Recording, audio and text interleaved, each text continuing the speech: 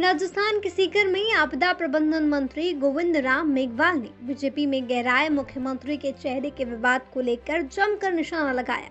उन्होंने बीजेपी के नेता प्रतिपक्ष राजेंद्र राठौड़ को लेकर विवादित बयान दिया। इसमें उन्होंने कहा कि राजेंद्र राठौड़ पहले वसुंधरा राजे के तलवे चाटता था। आज उन्हीं के सामने मुख्यमंत्री का दावेदार बनकर बैठा है। मेघवाल के इस बयान के बाद भाजपा में जमकर बवाल मचा हुआ है। इसको लेकर बीजेपी मेघवाल को लेकर जमकर हमलावर हो गई है।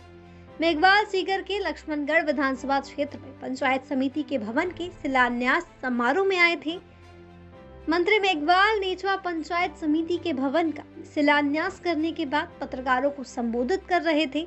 इस दौरान मेघवाल बीजेपी पर जमकर बरसे। उन्होंने राजेंद्र राठौड़ को जमकर आड़े हाथों लिया।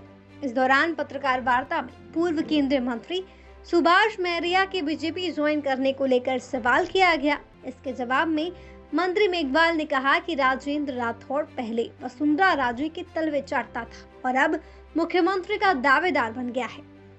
मंत्री गोविंद राम मेघवाल ने बीजेपी को जमकर निशाना बनाते हुए अपनी पूरी भड़ास निकाली।